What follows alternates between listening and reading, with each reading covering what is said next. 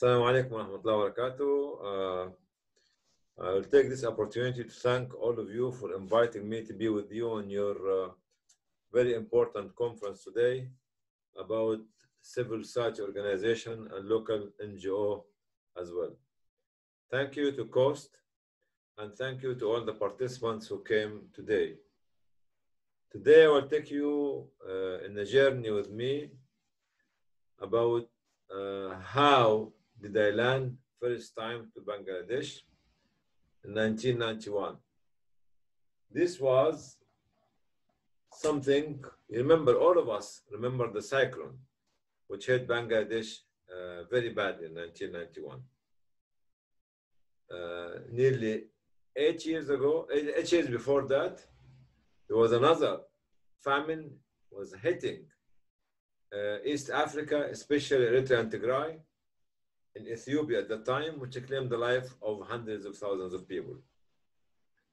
This year is another flooding affecting uh, the Horn of Africa, or East Africa, Sudan, uh, Kenya, Somalia, Ethiopia, and others. So over the last 30 years or more, the negative impact of climate change affecting the globe. And I will start by saying we need to stop the negative effect of climate change. Climate change could be considered at the moment as a major crime against humanity. We need to stop it, knowing that two countries are responsible for 45% of the emission of carbon dioxide on the globe. It affects our life, our society, our economy, our industry, and our well-being.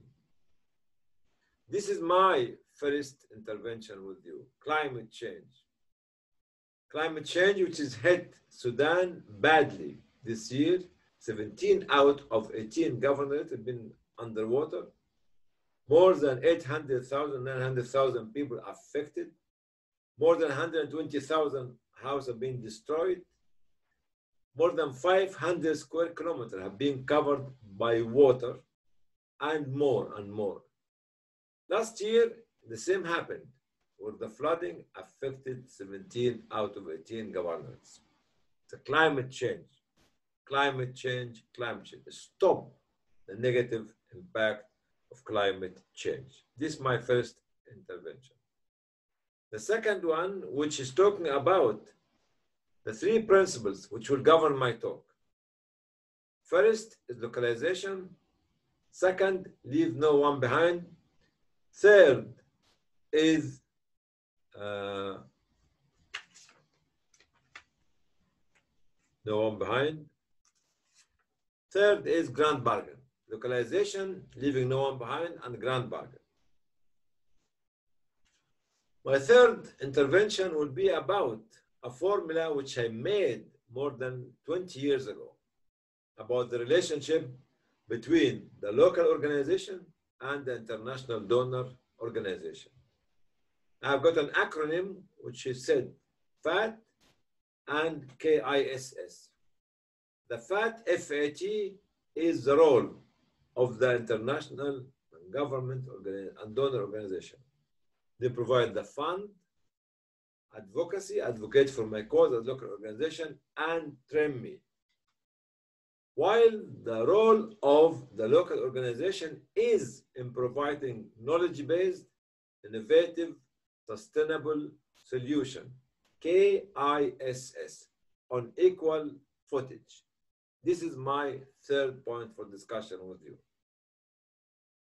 The fourth point with me for you is when we have this humanitarian catastrophe like what we see in Sudan or in Lebanon or in every part of the world on a war zone, we should divide the humanitarian response fund into two parts. 70% should be used instantly for humanitarian response.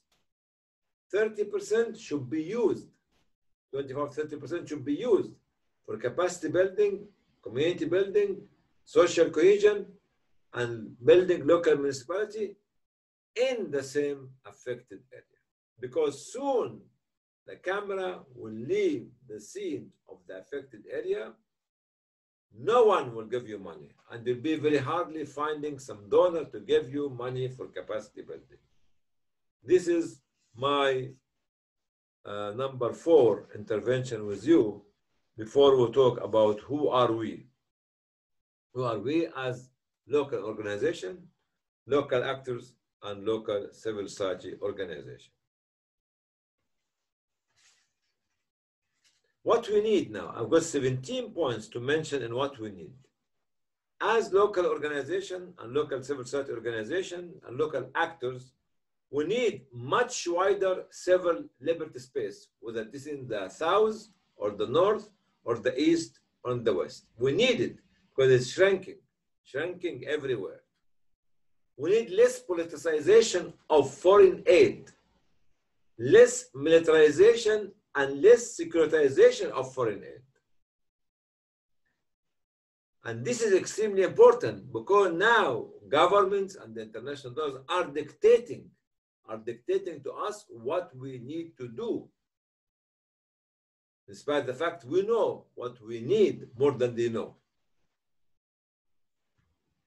We need to, to, to implement localization, not colonization. We need to come out from the colonial era, which was dictating the for, dictated to the work of the humanitarian response in different parts of the world, even developmental response. We need to build partnership, not dependency syndrome. Over the last 30 or 40 years, we failed to build local community, local organization, and credible organization. We need to implement transparency, not ambiguity in processes and procedures that will apply, especially on the ground for the small local organization. We need empowerment, not dictating, guides, guidelines, and guidance. Empower me to be your partner where we together can make the guidelines and can create the guidance and can go together. We need fertilization of what? Of the local organizations and the local NGOs and CSOs. Not desertification of their fields of work would drive their field of work up, unfortunately. We need involvement to be involved in a participatory approach at every stage of the designing stage, the implementing stage, reporting stage, and others.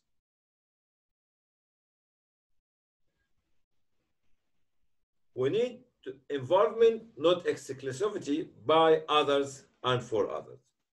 We need UN agencies and international donors and government to know that ownership, ownership of aid or even foreign aid belongs to whom?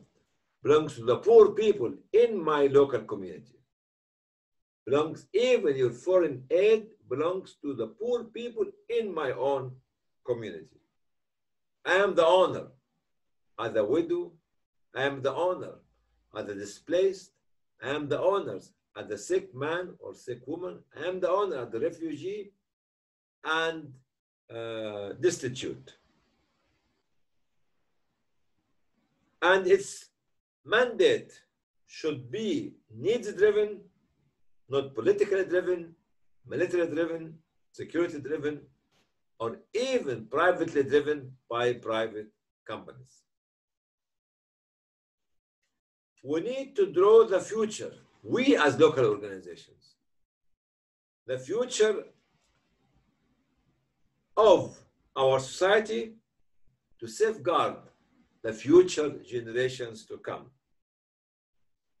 We need to have local solutions for all our problems, from COVID 19 counter extremism, radicalism, and terrorism, and others. Because we have the know how, because we have the innovative methods, because we have the sustainable solution that we can provide to everyone. We need to be listened to. Somebody should be listening to us. Everyone should be listening to us. We are, because why? Because we are. You know, I know what I want you to listen to me, to listen to us as local organization, because we are what? We are the poor people's pulse, feelings, emotions, dreams, hope, souls, and source of happiness. Because we are with them 24 7, every day, every month, every second, every minute. You come and go, but we stay behind. We need to inscript a smile in the hearts of the people and on the face of humanity. This is our role to do as local organization. We need to be taken more seriously, not to be taken for a ride by others. We need everyone to know that the more you delay the empowerment of the local CSOs and NGOs, the more difficult it becomes to complicate uh, finding a global solution for all our problems. We are the people who have knowledge-based, innovative, sustainable solution. Take us as partners, not as recipient, because we know what is happening on the ground and with partnership together and partnership together, we can do it. My last message to all of us in the room is keep connecting, keep communicating, keep networking with everyone on the local ground, with the government offices, as well as with the INGO, as well as with the international agency and UN agencies. Keep networking, communicating, and connecting. This will be connection will be our protection and we'll keep connecting with everybody. Thank you very much for listening to me and I congratulate you for this, this very successful Zoom conference. Thank you, Bangladesh. God bless you all. Assalamu alaikum